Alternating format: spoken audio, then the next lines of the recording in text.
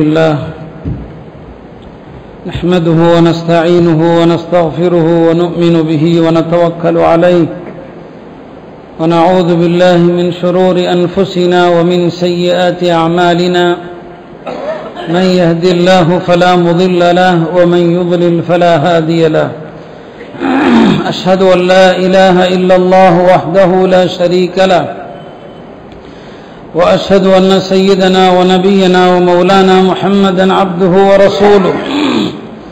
أرسله ربه بالحق بشيرا ونذيرا وداعيا إلى الله بإذنه وسراجا منيرا. صلى الله تعالى عليه وعلى آله وصحبه وسلم تسليما كثيرا. أما بعد فقد قال الله تبارك وتعالى في القرآن الكريم أعوذ بالله من الشيطان الرجيم. بسم الله الرحمن الرحيم. ولا تلقوا بأيديكم إلى التهلكة وأحسنوا. إن الله يحب المحسنين. وقال النبي صلى الله عليه وسلم كلكم راع وكلكم مسؤول عن رعيته أو كما قال عليه الصلاة والسلام. கணித்திற்குரிய அல்லாஹ் நல்லடியார்களே நான் ஓதிய இந்த வசனத்திலே அல்லாஹ் சொல்லி காண்பிக்கிறான் ஒலா துல்கு பி ஐதீக்கும் இல உங்களை நீங்களே அழிவுக்கு பலியாக்கி கொள்ளாதீர்கள் என்று அல்லாஹ் திருமறையிலே சொல்கிறான். உங்களை நீங்களே அழித்து கொள்ளாதீர்கள் என்று அல்லாஹ் சொல்கிறான். இந்த ஆயத்து எது தொடர்பாக அருளப்பட்டது என்பது குறித்து பல்வேறு கருத்துக்கள் இருந்தாலுமே கூட நாம் வாழுகிற இந்த காலகட்டத்திற்கு இந்த ஆயத்து பல வகையிலே பொருந்தி போகிறது. இன்றைய ஊடகங்களால் ஒரு சமுதாயம் எப்படியெல்லாம் அழிந்து கொண்டிருக்கிறது என்பதை பற்றி பெரும்பாலான மக்களுக்கு அக்கறை இல்லை. குழந்தைகள் முதல் முதியவர்கள் வரை ஆண்கள் பெண்கள் வாலிபர்கள் என்று எல்லோருமே இன்றைய ஊடகங்களால் ஒரு பெரிய நாசத்தை நோக்கி ஒரு பெரிய அழிவை நோக்கி நாம் போய் கொண்டிருக்கிறோம். ஒவ்வொரு ஊடகத்தை கொண்டும் எப்படியெல்லாம் இன்றைக்கு சமூகம் சீரழிந்து கொண்டிருக்கிறது என்பதை நாம் எண்ணி பார்க்க கடமைப்பட்டிருக்கிறோம். எல்லோருமே இன்றைக்கு ஒரு வகையான அடிமைத்தனத்திலே வாழ்ந்து கொண்டிருக்கிறோம். எல்லாருமே இன்னைக்கு அடிமை. ஏதாவது ஒண்ணுக்கு அடிமை. அது இல்லைன்னு சொன்னா வாழ முடியாது என்கிற அளவுக்கு ஒரு அடிமைத்தனமான வாழ்க்கையில் இருக்கிறோம். இன்றைய சமூகத்து பெண்களை எடுத்துக்கொண்டோமே ஆனால் ஒரு குடும்பத்து பெண் கல்லூரி பெண்கள் அல்ல அவர்களுடைய அடிமைத்தனம் வேறு. ஒரு குடும்பத்து பெண்களை எடுத்துக்கொண்டால் இன்றைக்கு அவர்கள் டிவி சீரியல்களுக்கு அடிமையாக கிடக்கிறார்கள். முஸ்லிம் பெண்கள் எல்லா பெண்களும் இந்த சீரியல்களுக்கு அடிமைகளாக இருக்கிறாங்க. எந்த அளவுக்குன்னு சொன்னா ஒரு தொலக்கூடிய பெண்ணா இருந்தா கூட இந்த நேரத்தில் இந்த சீரியல் ஒளிபரப்பாகுதுன்னு சொன்னா அவசர அவசரமா தொழுது விட்டு அந்த சீரியலுக்கு முன்னால உட்காரக்கூடிய அவலம். அதை விட கேவலம் ஒன்று சொன்னால் இந்த சீரியல் பார்ப்பது தவறே இல்லை என்கிற உணர்வு கூட ஏற்பட்டு பல பெண்கள் விக்கிரி செய்து கொண்டு தஸ்மிமணி வைத்துக் கொண்டு கூட சீரியல் பார்க்கிற அவலத்தை பார்க்கிறோம். இந்த டிவி சீரியல்கள் குடும்ப உறவுகளை எல்லாம் சீரழித்து விட்டது. காரணம் என்ன ஒன்று சொன்னால் இவை பெரும்பாலும் பெண்களை மையப்படுத்தியே எடுக்கப்படுகிறது. பெண்களுக்கு தவறான விஷயங்கள் கற்றுக் கொடுக்கப்படுகிறது. ஒரு பெண் மாமியாருக்கு கட்டுப்படக்கூடாது. மாமியாரை எதிர்ப்பது எப்படி என்கிற கலைகளை அது கற்றுக் கொடுக்கிறது. கணவன் இல்லாமலும் ஒரு பெண் தனி தனியாக வாழலாம் என்கிற ஒரு சிந்தனையை அது போதிக்கிறது. என்னென்ன கெட்ட விஷயங்கள் ஒரு பெண்ணிடத்தில் இருக்கக்கூடாதோ எல்லா விஷயங்களையும் இவைகள் கற்றுத்தருவதை பார்க்கிறோம். அதனாலதான் இன்னைக்கு பெண்களிடத்துல கணவனை எதிர்க்கக்கூடிய துணிச்சல் குடும்பத்தில் உள்ள பெரியவர்களை எதிர்க்கக்கூடிய துணிச்சல் எல்லோரையுமே மதிக்காத ஒரு தன்மை இருக்கிறது என்று சொன்னால் இந்த சீரியல்கள் வழியாக குடும்பங்கள் அழிந்து கொண்டிருக்கிற ஒரு நிலையை நாம பார்க்கிறோம். பெண்கள் அதற்கு அடிமையாக கிடக்கிறாங்க. இன்னைக்கு வாலிப பெண்கள் கூட சின்ன விஷயங்களுக்கு கூட கணவனோடு சண்டை. கணவனுடைய வீட்டாரோடு சண்டை. காரணம் ஒரு அற்ப காரணமாக இருக்கும். ஒரு சாதாரண காரணமாக இருக்கும். இந்த சிறிய காரணங்களுக்காக கூட குடும்ப உறவுகளை மறிப்பதற்கு இவை ஒரு காரணமாக இருக்கிறது. ஆக இது பெண்களுடைய அடிமைத்தனம் என்று நாம சொல்லலாம். இந்த இளைய சமூகத்தை எடுத்துக்கொண்டோமே ஆனால் அவர்கள் சமூக வலைத்தளங்கள். இந்த பேஸ்புக் என்று சொல்லப்படுகிற சமூக வலைத்தளம் ட்விட்டர் போன்றவைகள் இதுல அடிமைகளாக கிடக்கிறாங்க வாலிபர்களும் இளம் பெண்களும். அதுல பெண்களுடைய நிலைமை ஆண்களை விட மோசம் என்று சொல்லலாம். தங்களுடைய அந்தரங்கங்களை கூட இன்றைய இளம் பெண்கள் இந்த சமூக வலைத்தளங்களில் பதிவு செய்யறாங்க அவங்களுடைய அந்தரங்கங்களை கூட அதுல சொல்ல முடியாத எத்தனையோ சம்பவங்கள் எல்லாம் கூட இன்றைக்கு சமூகத்துல நடக்கிறது. அதுல எந்த விதமான மிகையும் கிடையாது. ஒரு சகோதரர் தன்னுடைய சகோதரன் தன்னுடைய சகோதரிக்கு தன்னுடைய நண்பர் ஒருவரையே திருமணம் செய்து வைக்கலாம் என்று அவர் முடிவு செய்திருக்கிறார். தன்னுடைய நண்பனுக்கு தன்னுடைய சகோதரியை மனம் முடிக்கலாம் என்று இந்த நிலையில தன்னுடைய சகோதரியினுடைய போனை யதார்த்தமாக பார்த்தபோது அவர் அதிர்ந்து போய்விட்டார். காரணம் தன்னுடைய சகோதரி தன்னுடைய நிர்வாண படத்தை அவனுடைய ஒரு நண்பனுக்கு அனுப்பியிருக்கிறார். தன்னுடைய நண்பனுக்கு அவர் ப- பகிர்வு செய்- அவனுடைய நிர்வாண படத்தை. பலவிதமாக தன்னைத்தானே படம் எடுத்து தன்னுடைய நண்பனுக்கு அனுப்பியிருக்கிறார். இந்த இளம்பெண்களுக்கு அது ஒரு நோயாக அது ஒரு மனவியாதியாகவே மாறிவிட்டது. இப்ப அந்த சகோதரனுடைய கேள்வி என்ன? இந்த நிலையில் என்னுடைய நண்பன் நல்ல நண்பன் அவனுக்கு நான் என் சகோதரியை மனமுடித்து கொடுக்கலாமா என்று அந்த சகோதரன் மார்க்க அறிஞர்கள்ட்ட கேள்வி கேட்டு கொண்டிருக்கிறான். இந்த அளவுக்கு தான் இன்னைக்கு சமுதாயத்தினுடைய இளம் பெண்கள் படித்த பெண்கள் தனிமையிலே தங்களுடைய நிர்வாண படங்களை எடுத்து தங்களுடைய அந்நிய ஆண்களுக்கு பகிரக்கூடிய அளவுக்கு அவர்கள் அடிமைப்பட்டு கிடக்கிறாங்க. ஆண் வாலிபர்கள் நம்முடைய இளைய சமூகத்தை எடுத்துக்கொண்டோமேயானால் இந்த சமூக வலைத்தளங்கள் மூலமாக என்னென்ன கெட்ட விஷயங்கள் இருக்கிறதோ அதையெல்லாம் படித்துட்டு இருக்கிறாங்க. பார்த்தா இன்னைக்கு இளைஞர்கள் அவங்க முடிவெற்ற மு- அந்த ஸ்டைல பாருங்க. மார்க்கத்தில் எது தடுக்கப்பட்டிருக்குதோ அது மாதிரிதான். ரசூல் ஸல்லல்லாஹு அலைஹி அவர்கள் மதீனாவுல போய் கொண்டிருக்கிற போது ஒரு சிறு பையனை பார்ப்பாங்க. அந்த பையனுடைய நடுவுல முடி இருக்கும். சுத்தி வெட்டி இருப்பாங்க சுத்தி வந்து வெட்டி இருப்பாங்க நடுவுல மட்டும் முடி இருக்கும். இப்ப நபி ஸல்லல்லாஹு அலைஹி அவர்கள் இது என்னன்னு கேட்டாங்க. அரபியில் அதற்கு சொல்லுவாங்க கசா கசான்னு சொன்னா நடுவுல முடி வச்சுட்டு சுத்தி சிரைச்சிடுறது. இதுதான் கசாங்கிறது பெருமானார் சொன்னார்கள் ஒன்று வெட்டினால் முழுமையாக வெட்டுங்கள் அல்லது முழுமையாக முடி வையுங்கள். தலைமுடியினுடைய சுண்ணத்தன வெட்டினா முழுசா வெட்டணும் சிரைச்சா முழுசா சிரைக்கணும் அல்லது முழுசா முடி வைக்கணும். இன்றைய வாலிபர்களை பாருங்க பல வாலிபர்கள் இந்த ரெண்டு ஓரத்துல மட்டும் முடிய குறைத்து கொண்டு நடுவுல முடி வைக்கிறது. அதுக்கு என்ன பேருங்கிறது எனக்கு தெரியாது. ஒவ்வொரு ஊர்ல ஒரு பேர் இருக்கலாம். நடுவுல முடி ரெண்டு பக்கமும் சிறைக்கிறது ரெண்டு பக்கமும் முடிய குறைக்கிறது. நபிசல்லா அலிஸ்லாம் அவர்கள் இதை தடுத்தாங்க. அதை பார்ப்பதற்கும் அழகும் கிடையாது. அதை பார்ப்பதற்கே கன்றாவி. பார்ப்பதற்கே அசிங்கம். நபி அலிஸ்லாம் அவர்கள் இந்த முறையில முடிவெட்டுவதை கூட தடுத்தாங்க. இன்றைய வாலிபர்களுக்கெல்லாம் அது ஒரு பைத்தியம். எல்லாம் இந்த சமூக வலைத்தளங்கள்ல பார்க்கக்கூடிய அந்த கேவலமான தோற்றங்களை பார்த்து வாலிபர்கள் அதற்கு அடிமையாக இருக்கிறாங்க. பார்த்தா இன்னைக்கு நம்ம வாலிபர்கள் கழுத்துல செயின் கையில பிரேஸ்லெட் போட்டுக்கிறது. இதெல்லாம் யாருடையது? பெண்களுடையது. ஒரு பெண்ணுக்கு கையில எதுவும் இல்லாம இருக்கக்கூடாது. நபி ஸல்லல்லாஹு அவங்க ஒரு பெண்மணியை பார்த்தாங்க. கையில எதுவுமே இல்லை. எந்த விதமான வளையலும் கிடையாது எதுவும் இல்லை.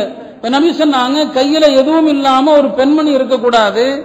எதுவும் அணிவதற்கு இல்லைன்னு சொன்னா ஒரு கைத்தையாவது கட்டிக்கன்னு சொன்னான். ஒரு கயிறாவது கட்டிக்க. ஏன்னா ஆண்கள் தான் எதுவும் அணியக்கூடாது. நீ ஆணுக்கு ஒப்பாக இருக்காதே. கையில எதையாவது கட்டிக்கொள். ஒரு கயிறாக இருந்தாலும் பரவாயில்லை என்று பெருமானார் செல்லல்லா அலைஹி அவர்கள் சொன்னார்கள். ஆண்கள் பெண்களுக்கோ பெண்கள் ஆண்களுக்கோ ஒப்பாக கூடாது அதை பெருமானார் சபிச்சாங்க. ஆணுக்கு ஒப்பாக நடக்கிற பெண்ணையும் பெண்ணுக்கு ஒப்பாக நடக்கிற ஆணையும் சபிச்சாங்க. இன்னைக்கு உலகம் அப்படிதான் மாறி இருக்குது. ஆம்பளை போடக்கூடாத பூரா போட்டுக்கிறான். கழுத்துல கையிலன்னு சொல்லி பொம்பளை எல்லாத்தையும் எடுத்துட்டு இருக்கிறான் இதான் இன்னைக்கு உலகத்துல நடக்குது. ஆக ஆண்கள் வந்து கழுத்துல செயின் கையில பிரேஸ்லெட் போட்டிருக்கிறாங்க. பெருமனார் செல்லல்லா ஆலிசன் அவர்கள் ஆண்கள் வெள்ளி மோதிரம் மட்டும் அணிய அனுமதி. ஒரு மோதிரம் போடலாம். வெள்ளி மோதிரம். அந்த வெள்ளி மோதிரம் கூட ஆண்களுடைய அந்த வெள்ளி மோதிரத்தின் அளவு மூன்று கிராமை விட அதிகமாக கூடாது மூன்று கிராமுக்குள்ள வெள்ளி மோதிரம் அணியலாம். அதற்கு மேல் அணிவதற்கு அனுமதி கிடையாது. ஆக இன்றைய நம்முடைய வாலிபர்கள் கழுத்துல செயின் போட்டுக்கிட்டு காவிர்கள் மாதிரி கையில பிரேஸ்லெட் போட்டுக்கிட்டு இது எல்லாமே இந்த சமூக வலைத்தளங்களில் அவர்கள் எதை பார்க்கறாங்களோ அதை பார்த்து அப்படியே கெட்டு போய் கொண்டிருக்கிறாங்க. கஞ்சாவுக்கும் இதர போதைப் பொருள்களுக்கும் நம்முடைய சமுதாயத்தினுடைய வாலிபர்கள் அடிமையாகிறாங்க. பெரியவர்கள்ட்ட அதை பத்தின ஒரு அக்கறையும் கிடையாது. இவன் என்ன செய்யறான்? வாலிப பருவத்துல கேட்டதை நம்ம வாங்கி கொடுத்துறோம். ஒரு காலத்துல நிறைய குழந்தைகள் பெற்றாங்க. பத்து குழந்தைகள் பன்னிரண்டு குழந்தைகள். அதனால வந்து பாசம் வந்து பகிரப்பட்டது. எல்லா குழந்தைகள் மீதும் பாசம். பத்து குழந்தை பதினோரு குழந்தைங்கிறதுனால கேட்டதை வாங்கி கொடுக்க முடியாது. இன்னைக்கு எல்லாம் குறைஞ்சு குறைஞ்சு ஒன்னு ரெண்டுன்னு ஆகி போச்சு அந்த ஒன்று ரெண்டு குழந்தைகள் மீது அளவுக்கு அதிகமான பாசம் அதனால என்ன கேட்டாலும் வாங்கி கொடுக்கிறது. இதுதான் இன்றைக்கு நமது பெற்றோர்கள் செய்கின்ற ஆகப்பெரிய தவறு. என்ன கேட்டாலும் லோன் வாங்கியாவது வாங்கி கொடுக்கிறது. இன்னைக்கு பல வாலிபர்கள் பைக் வச்சிருக்கிறாங்க டூ வீலர் வச்சிருக்கிறாங்கன்னு சொன்னா அதை பார்த்தா அவங்களுடைய அத்தா அம்மா ஏழைகளா தான் இருப்பாங்க. நடுத்தர குடும்பமா இருப்பாங்க. கடன் வாங்கி லோன் வாங்கியாவது ஒரு லட்சம் ஒன்றரை லட்சத்துல வண்டி வாங்கி நம்ம கொடுக்கிறோம். இது நாம செய்யக்கூடிய பெரிய தவறு. ஆக இன்றைய வாலிபர்கள் என்ன செய்யறாங்க இரவு நேரங்கள்ல கஞ்சா போதைகளுக்கு அடிமையாக இருக்கிறாங்க. சில முஸ்லிம்கள் வாழக்கூடிய பகுதியில நான் ஊர் பேர் சொல்ல விரும்பல முஸ்லிம்கள் வாழக்கூடிய சில பகுதியில முஸ்லிம் இளைஞர்களை கெடுப்பதற்காக சில தரகர்களை இருக்கிறாங்க. ஒவ்வொரு பகுதியிலும் சில தரகர்கள். அவங்களுடைய வேலை என்ன? இந்த வாலிபர்களை பூரா கஞ்சாவுக்கும் இதர போதைப் பொருளுக்கும் அடிமையாக ஆக்கிடுறது இன்னைக்கு அந்த பகுதிகளில் பல வாலிபர்கள் இந்த போதைக்கு அடிமையாகி அவங்கள மருத்துவமனையில சேர்க்கப்பட்டிருக்கிறது. அந்த வாலிபர்கள்ட்ட அவங்கள்ட்ட கருத்து கேட்கப்பட்டது. அவங்க சொல்றாங்க அந்த தரகர்களை பார்த்தாலே எங்களுக்கு போதை ஞாபகம் வந்துருது. நாங்க போதை பொருளை கண்ணில் பார்க்கணும்னு தேவையில்லை. அந்த நபரை பார்த்தாலே எங்களுக்கு போதை பொருள் மீது ஆசை வந்துருதுன்னு சொல்லி. இது அந்த மருத்துவர்கள்ட்ட கேட்கப்பட்டது. அவர்களும் சொன்னாங்க யார் போதைக்கு அடிமையாயிட்டானோ அவன் அந்த பொருளை பார்க்கணும்னு தேவையில்லை. அந்த பொருளை விற்கிறவனை பார்த்தாலே ஆசை வந்துடும் யார் அந்த பொருளை விற்கிறானோ அவனை பார்த்தாலே ஆசை வந்துடும் இன்னைக்கு பல வாலிபர்கள் இந்த போதைக்கு அடிமையாயிட்டு இருக்கிறாங்க நம்ம இரவு நேரத்துல நம்முடைய பிள்ளைங்க என்ன செய்றாங்க? அவங்க யாரோடு பழகுறாங்க? அதை நாம கண்காணிக்கிறதே கிடையாது. அதனுடைய விபரீதங்களை நாம உணர்வது கிடையாது. எனவே அருமையானவர்களே இப்படி நம்முடைய இளைய சமூகம் ஆண்கள் பெண்கள் ஒரு வகையில மோசமாயிட்டு இருக்கிறாங்க. இளம் பெண்கள்கிட்ட தங்களுடைய மானத்தை மறைக்கணுங்கிற அந்த உணர்வு கூட இல்லை. தன்னுடைய முகத்தை அந்நிய ஆண் பார்க்க கூடாதுங்கிற எண்ணம் கூட கிடையாது. தன்னுடைய போட்டோவை எல்லாருக்கும் ஷேர் பண்றாங்க. எல்லாரும் பார்க்கட்டும். யார் பார்க்கறாங்கிறத பத்தி அக்கறை இல்லை. ஆக இப்படி ஒரு அடிமைத்தனம் சமூகத்தில் போய்கொண்டிருப்பதை பார்க்கிறோம். அருமையானவர்களை இப்படி நம்முடைய குழந்தைகளுக்கு கேட்கிறத வாங்கி கொடுத்து என்ன கேட்டாலும் கொடுத்து அதை நாம கெட்டுறோம். இது எல்லாவற்றுக்கும் மேலாக இன்றைய சமூகத்தினுடைய மிகப்பெரிய ஆபத்து என்னன்னு சொன்னா நம்முடைய குழந்தைகளும் சீரழிக்கப்படுறாங்க. இதெல்லாம் பெரியவங்களுடைய சமாச்சாரம். குழந்தைகள் இன்றைக்கு சீரழிக்கப்படுறாங்க. எதன் மூலமாக? இந்த ஸ்மார்ட் போன்கள் மூலமாக சீரழிக்கப்படுறாங்க. ஒரு காலத்துல குழந்தைகள் பெரியவர்களோடு வளர்ந்தாங்க. அவங்கள சுத்தி பெரியவர்கள் தாத்தா பாட்டின்னு இருப்பாங்க. அவங்களோடு கொஞ்சி கொண்டு அவர்களோடு அந்த சந்தோஷத்துல வாழ்ந்தாங்க. ஆனா இன்றைய குழந்தைகள் பெரும்பாலான குழந்தைகள் எதோட வாழ்ந்து கொண்டிருக்குதுன்னு சொன்னா இந்த ஸ்மார்ட் போன்களோடு தான் வாழுது. ஏன்னா இன்னைக்கு தாய் தந்தையர்களும் குழந்தை அடம் பிடித்தா உடனே போனை கையில கொடுக்கறது. சாப்பிட மாட்டேன்னு சொன்னா உடனே போனை கையில கொடுக்கறது. குழந்தைகள் எதை மறுத்தாலும் உடனே போனை தர்றேன்னு சொல்றது. என்னன்னாலும் சரி நம்ம இப்ப தொந்தரவு இல்லாம இருக்கணும். நமக்கு தொந்தரவு இல்லாம கொஞ்ச நேரம் தூங்கணும் கொஞ்ச நேரம் வேலை பார்க்கணும். உடனே குழந்தைங்க கையில போனை கொடுத்துறது இந்த போன்களால இந்த குழந்தைகள் பெரிய அளவுல பாதிக்கப்படுறாங்க. நாளைக்கு எதிர்காலத்துல பல குழந்தைகள் இன்றைய குழந்தைகள் எல்லாம் பாதுகாக்கணும் ஊனமுற்றவர்களாக ஆயிடுவாங்க. எதிர்காலத்துல பல குழந்தைகளுக்கு எழுதும் திறன் இருக்காது. அவங்களால எழுத முடியாது அவங்களால. இன்னும் சொல்ல போனா பல குழந்தைகள் ஐம்பது சதவிகிதம் பேச திராணியத்தவர்களாக ஆயிடுவாங்க. அவங்களால பேச முடியாது. அவ்வளவு பெரிய பாதிப்புகள் இந்த போன்கள் மூலமாக குழந்தைகளுக்கு ஏற்படுது. இந்த குழந்தைகள் கூட நம்ம பெருமையா எல்லாத்தையும் சொல்றோம். என் குழந்தை கையில போனை கொடுத்தா எல்லாமே தெரியும். எல்லாத்தையும் இயக்குன்னு சொல்லி சொல்றோம். ஆனா அதுல எவ்வளவு பாதிப்பு என்பதை நாம் உணராம இருக்கிறோம். காரணம் இன்னைக்கு பாலூட்டக்கூடிய ஒரு தாய் கூட பாலூட்டக்கூடிய ஒரு பெண்மணி கூட ஒரு பக்கம் குழந்தைக்கு பாலூட்டி கொண்டு இன்னொரு பக்கம் கையில போனை வச்சிருக்கு கையில போனை வைத்து கொண்டுதான் குழந்தைக்கு பால் விட்டது அந்த பச்சிலம் குழந்தையினுடைய அந்த பார்வை கூட அந்த போன்ல தான் படுது. அந்த போனுடைய வெளிச்சம். அது அந்த குழந்தைய அப்போதிருந்தே அதனுடைய மனசுல ஆழமாக பதியுது. கொஞ்சம் கொஞ்சமா அந்த குழந்தைக்கும் கூட அந்த போன் மீது ஒரு ஈர்ப்பு ஏற்பட்டு அந்த குழந்தைகளும் போனை பயன்படுத்த ஆரம்பிக்குது. நாமளும் குழந்தைங்க கையில போனை கொடுத்துறோம். இப்ப சமீபத்தில் எத்தனையோ ஆய்வுகள் வந்து கொண்டிருக்கிறது. இந்த குழந்தைகளுக்கு என்னென்ன பாதிப்புகள் இந்த போன்களால வரும்னு சொல்லி. முதல் பாதிப்பு என்ன? குழந்தைகள் தலையை கீழே போட்டுட்டு தான் பார்க்கும். நம்ம என்னதான் சொன்னாலும் அவங்களுக்கு புரியாது. தலையை கீழே போட்டுட்டு போனை பாக்குறாங்க ஒரு நாளைக்கு நாலஞ்சு மணி நேரம் ஒரு குழந்தை இப்படியே தலையை கீழே போட்டு போனை பார்த்துக்கிட்டே இருந்துச்சுன்னு சொன்னா ஒரு அஞ்சு வருஷத்துல அந்த குழந்தையினுடைய பிடரியில கோளாறு ஏற்பட்டு பிடரியில ஒரு ஆபரேஷன் செய்ய வேண்டிய கட்டாயம் ஏற்படலாம். அந்த குழந்தையினுடைய பிடரியில ஒரு ஆபரேஷன் செய்ய வேண்டிய ஒரு கட்டாயம் ஏற்படலாம். பிடரியில ஆபரேஷன் செஞ்சா கிட்டத்தட்ட அந்த குழந்தையினுடைய வாழ்க்கை முடிஞ்சு போன மாதிரிதான். அதுக்கப்புறம் அந்த குழந்தைக்கு மறுவாழ்வுங்கிறது கிடையாது. இது ஒரு நாளைக்கு நாலஞ்சு மணி நேரம் ஒரு குழந்தை அந்த போனை தலையை கீழே போட்டு பார்க்குதுன்னு சொன்னா அந்த குழந்தைக்கு வரக்கூடிய பிரச்சனை. அந்த குழந்தைக்கு முதுகு வலி வரும். அந்த குழந்தைக்கு தோள்பட்டையில வலி வரும். இப்படி உடல் ரீதியாக இவ்வளவு பாதிப்புகள். இரண்டாவது இந்த ஸ்மார்ட் போன்களால குழந்தைகளுக்கு ஏற்படவிருக்கிற அடுத்த பெரிய பாதிப்பு என்ன? அந்த குழந்தைகள் கண் பார்வை இழந்துருவாங்க. அல்லாஹ் இந்த கண்ணை எப்படி அமைச்சிருக்கிறான்? நம்ம சாதாரணமா பார்க்கலாம். அதிகமான பவர் நம்ம கண்ணை நோக்கி வருதுன்னு சொன்னா நம்ம கண்ணுடைய கருவிழி இருக்கிறது. அது வந்து துடிக்குது. அதிகமான பவரை வந்து அது தாங்காது உடனே துடிக்குது. இதை எல்லாம் இயற்கையாக அமைச்சிருக்கிறான். இந்த போன்கள் இருந்து வரக்கூடிய இந்த ஒளி இருக்கிறது இதுவும் குழந்தைகளுடைய கண்ணை பாதிக்குது. அதிலும் குறிப்பாக குழந்தைகள் பல கேம் விளையாடுறாங்க விளையாட்டுகள். அந்த விளையாட்டுகள்ல திடீரென்று பவர் கூடும். திடீரென்று அதுல வெளிச்சம் வரும். இதை தொடர்ந்து அந்த குழந்தைகள் பார்த்து கொண்டிருக்க பார்த்து கொண்டிருக்க சில குறிப்பிட்ட வருஷங்கள்ல அந்த குழந்தைகள் முழுமையாக கண் பார்வை இழக்கக்கூடிய ஆபத்தும் இருக்கிறது. நம்ம இதை தெரியாம குழந்தைங்க கையில் ஏதோ சந்தோஷமா கொஞ்ச நேரம் இருக்கட்டும் சொல்லி கொடுத்துறோம். நம்ம குழந்தைகளுக்கு எதை வேணாலும் கொடுக்கலாமே தவிர இந்த போன்களை கண்டிப்பாக கொடுக்க கூடாது மூன்றாவது பெரிய ஆபத்து என்ன? இந்த போன்களை பயன்படுத்துறதுனால குழந்தைகளுடைய தசைகள் பூரா செயலற்று போயிடுது. ஒரு காலத்துல குழந்தைகள் விளையாடினாங்க. ரோட்ல விளையாடுறது அதுதான் குழந்தைகளுக்கு உடலுக்கு ஆரோக்கியமானது. எப்ப இந்த குழந்தை ஒரு நாளைக்கு அஞ்சு மணி நேரம் ஆறு மணி நேரம் இந்த போன்ல உட்கார்ந்து இருக்குதோ அதனுடைய தசைகள் நரம்புகள் எல்லாம் செயலற்று போயிடுது. எல்லாமே செயலற்று போயிடுது. செயலற்று போறதுனால அந்த குழந்தைக்கு பலவிதமான வியாதிகள். அதனால இன்னைக்கு நீங்க பார்க்கலாம் ஒரு காலத்துல செரிமான கோளாறு யாருக்கு இருக்கும்? பெரியவங்களுக்கு தான் இருக்கும். சின்ன குழந்தைகளுக்கு செரிமான கோளாறு இருக்காது. நெஞ்சு எரிச்சல் பெரியவங்களுக்கு தான் இருக்கும். ஆனா இன்னைக்கு இவை அத்தனையும் குழந்தைகளுக்கு இருக்குது. இது எல்லாமே குழந்தைகளுக்கு காரணம் என்னன்னு சொன்னா குழந்தைகள் வெளியே போய் விளையாடுறது கிடையாது. விளையாடினாதான் அவங்க உடலுக்கு ஆரோக்கியம்.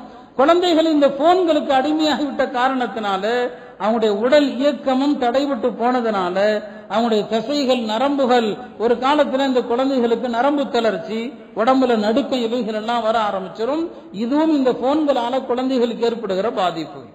அடுத்த பாதிப்பு என்ன நீங்க பாத்தீங்கன்னு சொன்னா இந்த போன்களால குழந்தைகள் ஒரு காலகட்டத்தில் சிறுநீரக பை பாதிக்கப்படலாம். குழந்தைகளுக்கு மலச்சிக்கலும் ஏற்படலாம்.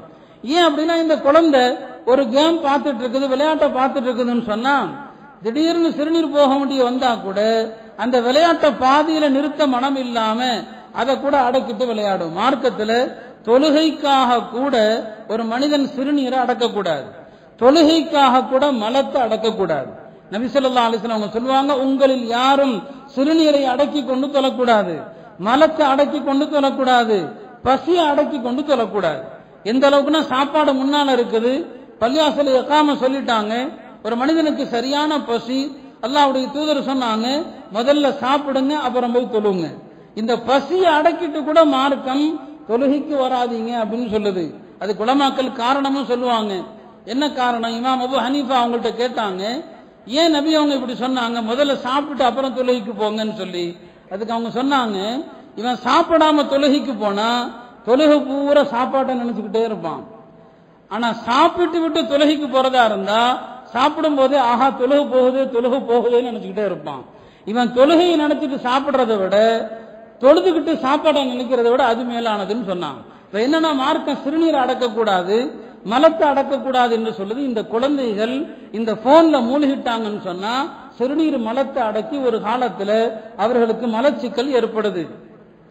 சிறுநீர் கோளாறு ஏற்படுது. இது எல்லாம் குழந்தைகளுக்கு இந்த போன்களால வரக்கூடிய பாதிப்பு. அடுத்த பெரிய பாதிப்பு என்னன்னு சொன்னா குழந்தைகள் இந்த போனுக்கு இவ்வளவு அடிமையாயிடுறாங்க.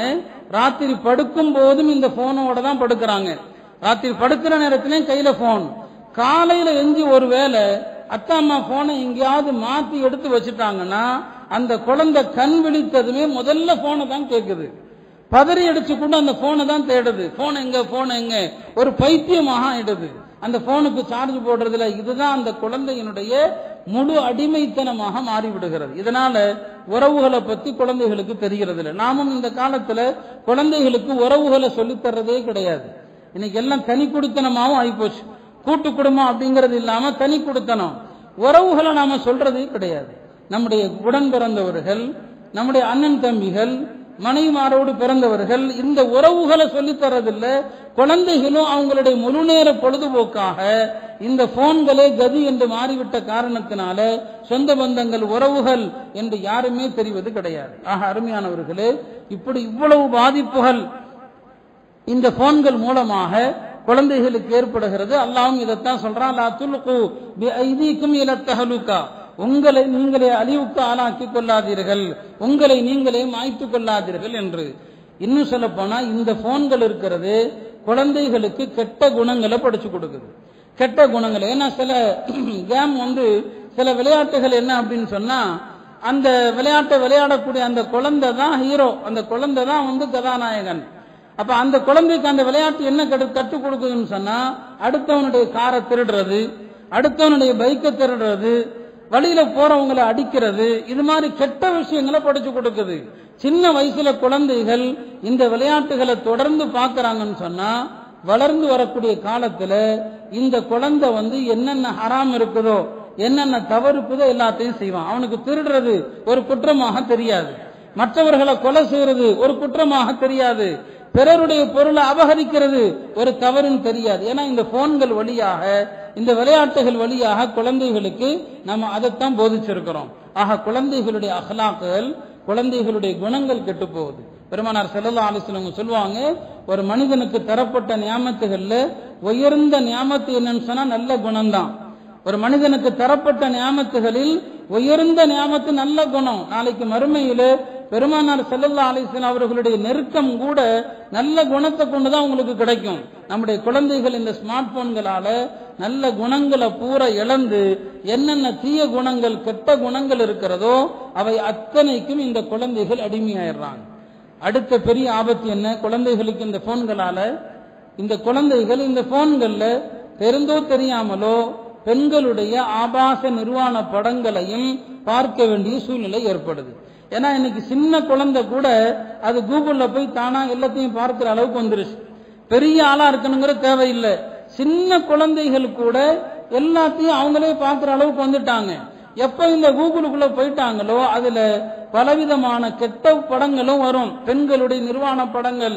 இந்த படத்தை ஒரு குழந்தை ஒரு நாளைக்கு திரும்ப திரும்ப பார்க்கிற போது அந்த குழந்தையினுடைய மனோநிலை எப்படி பாதிக்கப்படும்? நபி ஸல்லல்லாஹு அலைஹி பத்து வயசு ஆயிடுச்சுன்னு சொன்னா குழந்தைகள் ஆண் பெண் குழந்தைகளை கூட படுக்கையில பிரிச்சு வைங்கன்னு சொன்னான் பத்து வயசு ஆயிடுச்சுன்னு சொன்னா குழந்தைகள் ஒவ்வொரு வயசுக்கும் ஒரு கடமை இருக்குது. ஏழு வயசுக்கு ஒரு கடமை பத்து வயசுக்கு ஒரு கடமை பருவம் அடைஞ்சா ஒரு கடமை.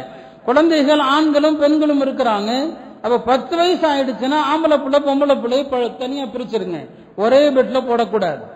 ஒரே விரிக்க விரிப்புல ஒரே படுக்கையில படுக்க வைக்க கூடாது இது பெருமனார் செல்லல்லா அலிஸ்மனுடைய கட்டளை. காரணம் அந்த வயசுல சில விளக்கங்கள் அவங்க மனசுல வரும். அந்த நேரத்துல குழந்தைகளை பிரிச்சிருங்கன்னு சொன்னாங்க இன்னைக்கு அப்படி இருக்கிற நேரத்துல சொந்த அண்ணன் சகோதரிய கூட பிரிச்சு போட சொன்னாங்கன்னு சொன்னா இந்த போன்கள் மூலமாக குழந்தைகள் எவ்வளவு ஆபாசமான நிர்வாணமான விஷயங்களை பாக்குறாங்க இன்னைக்கு யூடியூப்ல வந்து ஒரு நாளைக்கு பத்தாயிரம் ஆபாசமான விஷயங்கள் ஒரு நாளைக்கு என்ன செய்யப்படுது பதிவு செய்யப்படுது. அப்ப குழந்தைகள் இந்த படங்களை திரும்பி திரும்பி பார்த்தாங்கன்னு சொன்னா அவங்க மனசுல என்ன பதியும்? ஒரு காலத்துல ஏழு வயசுல குரான மனநம் செஞ்சாங்க. ஏழு வயதுல குரான ஹிஃப்து பண்ணுனாங்க குழந்தைகள். இன்றைய நம்முடைய குழந்தைகள் ஏழு வயசுல அவங்க என்ன மனோநிலையில இருக்கிறாங்கிறத பார்க்கணும். மோசமான விஷயங்களை பார்த்து பார்த்து குழந்தைகளும் அந்த ஆபாசமான விஷயங்களை பேசுறது அந்த ஆபாசமான விஷயங்களை பார்க்கிறது. இந்த குழந்தைகள் எதிர்காலத்தில் சமுதாயத்தில் இவங்களால எவ்வளவு பெரிய ஒரு ஆபத்து ஏற்படும் என்பதை சிந்தித்து பார்க்கணும். அருமையானவர்களே இன்னைக்கு இந்த சமூக வலைத்தளங்களால எவ்வளவு பெரிய ஆபத்து ஏற்பட்டிருக்குன்னு சொன்னா இந்த கூகுள்லையும் ஃபேஸ்புக்லையும் பணியாற்றக்கூடிய ஊழியர்கள் அவங்க அதை விட்டு வெளியே வந்து இதனால ஒரு தலைமுறை அழிந்து கொண்டிருக்கிறது என்று கருதி அவங்க இப்போ ஒரு நிர்- ஒரு அமைப்பு உருவாக்கி இருக்கிறாங்க அவங்களுடைய நோக்கமே என்னன்னு சொன்னா இன்றைய இளைய தலைமுறைய இன்றைய சமுதாயத்தை இந்த சமூக வலைத்தளங்களை விட்டும் பாதுகாக்கணும். இந்த சமூக வலைத்தளங்கள் இப்படியே தொடர்ந்து போச்சுன்னு சொன்னா அடுத்த தலைமுறை ஒரு சீரழிந்த தலைமுறையாகத்தான் இருக்கும்னு சொல்லி அவங்க இன்னைக்கு வெளியே வந்து அவங்க ஒரு அமைப்பா உருவாகி இளைஞர்களுக்கு வழிகாட்டுறாங்க. இந்த சமூக வலைத்தளங்களுக்கு அடிமையிடாதீங்கன்னு சொல்லி. இப்ப நாம இன்றைய குழந்தைகளுக்கு கூட நாம கொஞ்ச நேரம் நிம்மதியா இருக்கணுங்கிறதுக்காக குழந்தைகள் விஷயத்துல அவங்க தொந்தரவு பண்ணா அந்த தொந்தரவு தாங்கணும். அல்லாவுடைய தூதர் பெருமானார் செல்லல்லா அலிசன் அவர்கள் குழந்தைங்கன்னா வீட்டுல விளையாடும் கொஞ்ச நேரம் சத்தம் போடும் அதையெல்லாம் தாங்கிறதுக்கு தான் நம்ம குழந்தைகளை பெற்றிருக்கிறோம். பெருமானார் செல்லல்லா அலிசன் அவர்கள் தொழுது கொண்டிருக்கும் போது குழந்தைகள் அவங்க முதுகில் ஏறி உட்கார்ந்துக்குவாங்க. நபிசல்லா அலிசனவங்க அந்த குழந்தைங்க இறங்காம சஜதா விட்டு எஞ்சிக்கவே மாட்டாங்க. அவங்களுடைய பேர குழந்தைகள் சஜிதால இருக்கும்போது மேல உட்கார்ந்துக்குவாங்க. ஒரு நாள் பெருமானார் சஜிதால இருக்கிறாங்க இருக்கிறாங்க ரொம்ப நேரம் இருக்கிறாங்க. சஹாபாக்கள் பயந்துட்டாங்க. பெருமானார் செல்லல்லா அலிஸ்லாம் அவங்களுக்கு என்ன ஆயிடுச்சுன்னு சொல்லி.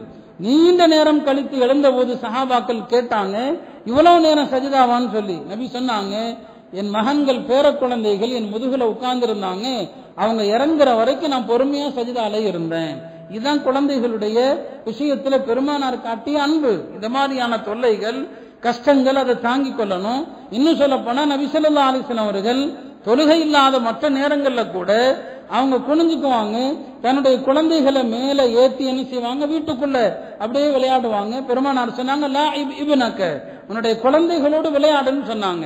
இந்த அன்பு தான் உண்மையான அன்பு. நாம இன்னைக்கு அன்புனா என்ன நினைச்சுக்கிறோம்? குழந்தைங்க போன் வாங்கி கேட்டா போனை கொடுக்கறது. குழந்தைங்க பைக் வாங்கி கேட்டா பைக்கை கொடுக்கறது. இதுதான் நாம அன்பு நினைச்சிருக்கிறோம். உண்மையான அன்புங்கிறது உள்ளம் சார்ந்தது. பெருமனார் செல்லல்லா அலிஸ்லாம் அவர்கள் தன்னுடைய மகளார் ஃபாத்திமா அவர்கள் ஃபாத்திமா ரவியல்லான அவர்கள் அவங்க நிக்கா செய்து கொடுக்கப்பட்ட பிறகும் கூட அன்னை ஃபாத்திமா எப்ப பெருமானாரை சந்திக்க வந்தாலும் நபிசல்லா அலிஸ்லாம் அவர்கள் எஞ்சி வெளியே போயிருவாங்க. எழுந்து வெளியே போய் தன்னுடைய மகளுடைய கரத்தை பிடித்து முத்தம் கொடுத்து வீட்டுக்குள்ள அழைத்து வந்து உட்கார வைப்பாங்க. இது வந்து உண்மையான பாசம். இது உண்மையான மஹபத் இது. எப்ப நபி வந்தாலும் சரிதான். பெருமானார் சல்லா அலிஸ்லாம் அவர்கள் தன் மகள் ஃபாத்திமா வீட்டுக்கு போனா ஃபாத்திமா ரதியல்லான்ஹா எஞ்சி வெளியே வந்துருவாங்க. தன் தந்தையினுடைய நெற்றியில முத்தம் கொடுப்பாங்க. கையை பிடிச்சு வீட்டுல கொண்டு போய் உட்கார வைப்பாங்க. அந்த காலத்துல இருந்த அன்பு அப்படியே இருந்துச்சு. ஒரு ஒரு சஹாபி வந்து சொல்லுவாங்க யார சொல்லலாம் எங்க வீட்டுல எதுலையுமே வரக்கத்து இல்ல குடும்பத்துல ஒற்றுமை இல்லை.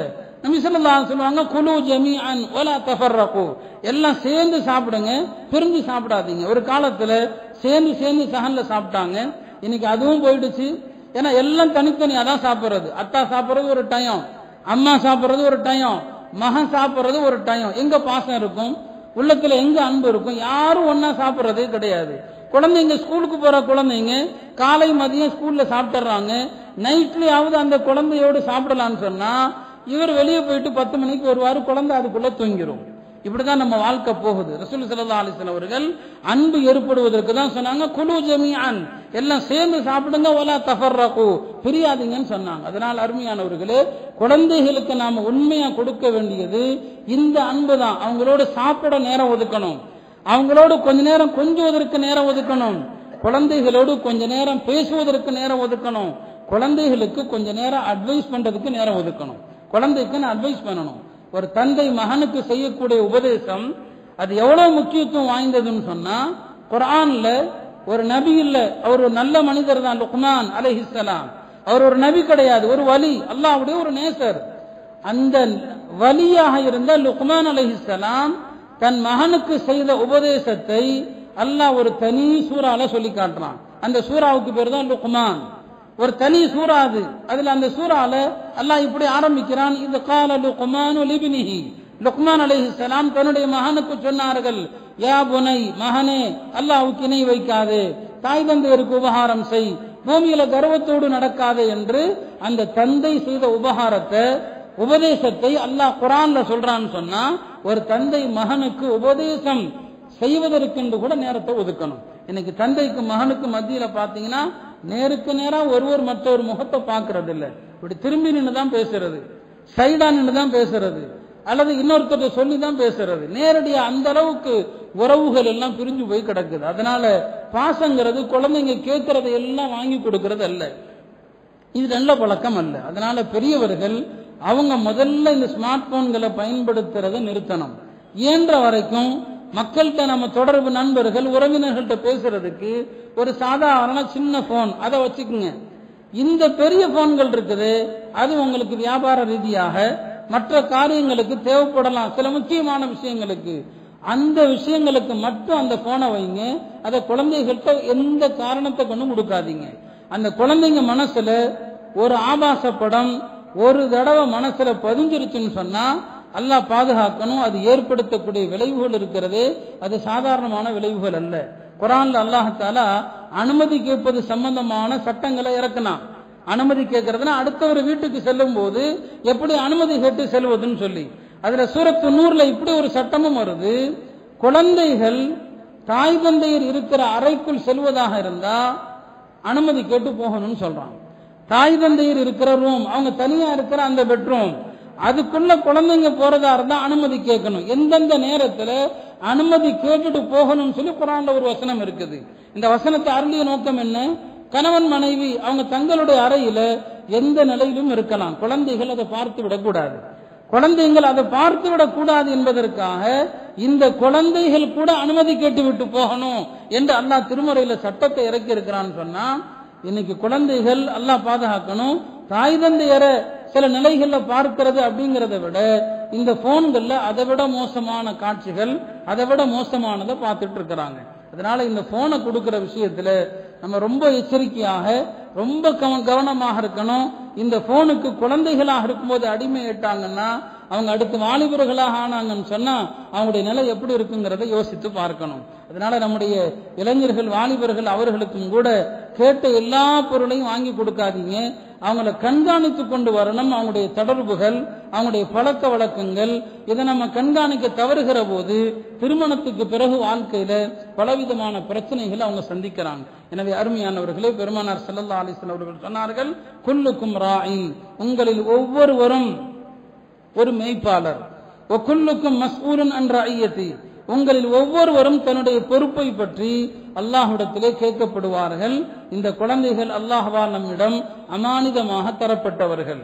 எனவே இந்த குழந்தைகளுடைய அழிவுக்கும் இந்த குழந்தைகளுடைய நாசத்திற்கும் நாம காரணமாக ஆயிட்டோம்னு சொன்னா நாளை மறுமையில அல்லாஹ் நமக்கு ரெண்டு மடங்கு தண்டனை அல்லாஹ் கொடுப்பான். அல்லாஹ் அதிலிருந்து நம்மை பாதுகாக்க வேண்டும்.